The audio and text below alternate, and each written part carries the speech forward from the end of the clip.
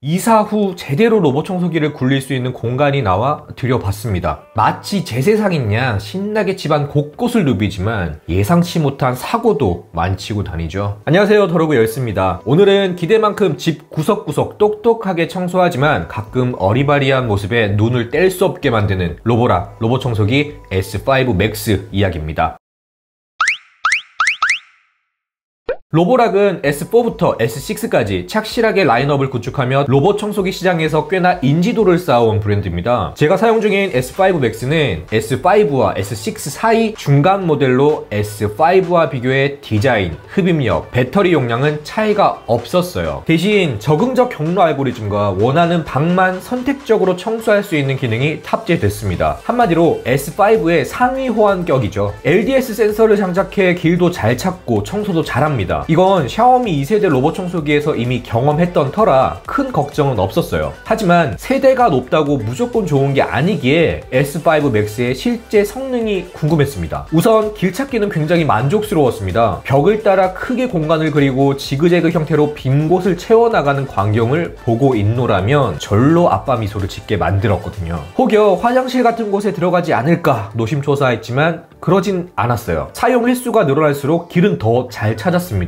가동 횟수가 높아질수록 청소 공간의 패턴이나 장애물에 최적화되는 듯 했죠. 한 가지 특이했던 건 한 방향만으로 왕복하는 일반 LDS 청소기와 달리 공간이나 장애물을 인식해 왕복 방향을 스스로 변경한다는 점이었습니다. 또 TV 받침대나 쇼파, 선반 아래 등 평소 손쓰기 힘든 곳까지 알아서 청소해주니 수고도 훨씬 덜 수 있었어요. 참고로 로보락 S5 맥스는 LDS 센서 포함 높이가 96.5mm입니다. 저희 집 가구 중 바닥 높이가 가장 낮은 게 12cm라 운영상 문제는 전혀 없었어요. 그런데 청소 중 배터리가 부족하면 알아서 스테이션으로 돌아가지만 거리가 너무 멀거나 코너진 다른 방에서 멈추게 되면 간혹 오류로 돌아가지 못하는 일이 발생하기도 했습니다. 충전기를 찾을 수 없습니다.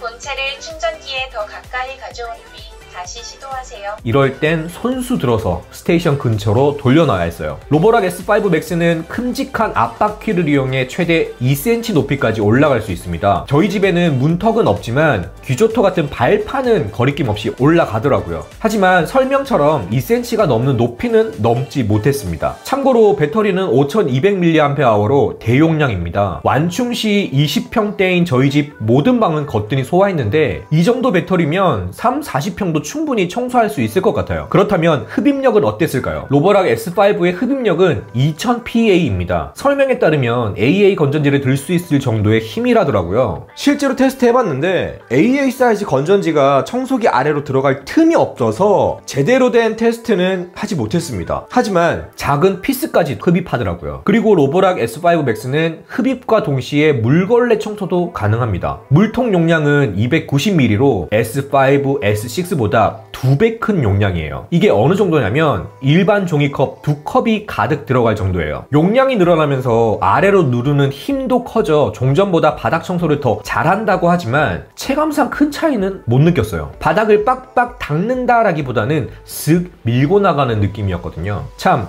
청소기를 돌릴 때 걸레는 반드시 빨아서 써야 됩니다. 하루 이틀만 지나도 물걸레에서 냄새가 나는데 그 상태로 썼다간 바닥 전체에 냄새를 옮길 수 있거든요. 큰 불편은 없었지만 굳이 두 가지만 꼽자면 물통 자체 세척은 힘들었다는 점입니다. 로보락 S5 맥스는 물통이 두 개인데 둘 다 내부 청소를 할 수 있는 방법이 없었어요. 또 하나는 카펫이 있는 곳은 물걸레 청소가 난감했습니다. 청소 불가 구역을 선택할 수 있지만 그러면 흡입 청소까지 포기해야 했거든요. 그 탓에 로봇 청소기 운영에 있어서 카펫은 불편 요소 중에 하나였습니다. 카펫뿐만 아니라 멀티탭, 케이블, 의자 등도 치워줘야 했습니다. 그렇지 않으면 서로가 난감한 상황이 발생됐거든요. 로보락 전용 앱을 이용하면 필요한 곳만 청소할 수도 있습니다. 청소 전후 면적, 잔여 배터리량, 청소 시간과 함께 실시간 매핑 현황도 보여줍니다. 청소, 정지, 충전은 물론 리모트 컨트롤로 원격 조작도 가능해요. 청소 모드는 소음, 흡입력 등을 고려해 최대 5단계로 설정할 수 있고요. 물걸레질 수위도 3단계에 나눠 설정할 수 있습니다. 청소 모드에 따른 소음 차이는 직접 확인해 보시기 바랄게요.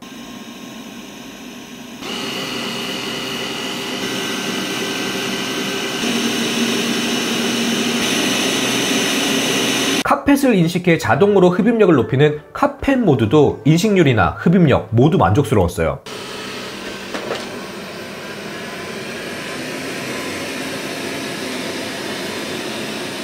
특히 마음에 들었던 건 필터, 브러쉬와 같이 소모품 사용 시간, 교체 시기를 직관적으로 알려준다는 점이었어요. 구매까지 바로 연결됐으면 하는 아쉬움은 있지만요. 그 밖에 타이머 설정으로 원하는 시간대, 원하는 모드로 청소할 수 있게 설정해주고 언어팩을 다운로드 받으면 영어, 한글 등 다양한 국가 언어도 쓸 수 있어요. 가장 큰 메리트는 역시 타 브랜드에 비해 뛰어난 가성비죠. 그간 로보락 제품이 직구밖에 안 됐던 터라 AS에 취약했었는데 최근 국내 정식 출시되면서 아이나비로 유명한 팅크웨어를 통해 AS 문제도 해결됐습니다. 정리해보면 네노라는 브랜드에 비해 상대적으로 저렴한 가격에도 불구하고 길찾기, 흡입력, 배터리 모두 합격점을 줄만 했습니다. 또 전용액과 연동으로 확장된 기능 사용은 꽤 만족스러운 부분이었고요. 물걸레 청소나 물통 세척은 여전히 아쉬움으로 남고 원활한 청소 운영을 위해선 집안 곳곳을 정리해둬야 한다는 수고는 피할 수 없었지만 청소에 많은 시간을 투자하지 않으면서 깨끗함을 유지하고 싶으신 분들이나 적은 금액으로 로봇 청소기에 대한 궁금증을 해소하고 싶으신 분들께 좋은 선택이 될 듯 합니다. 네, 오늘 이야기는 여기까지입니다. 제품 선택에 작게나마 도움되셨길 바라고요. 영상 시청해주셔서 감사합니다. 지금까지 도로구 열쇠였습니다.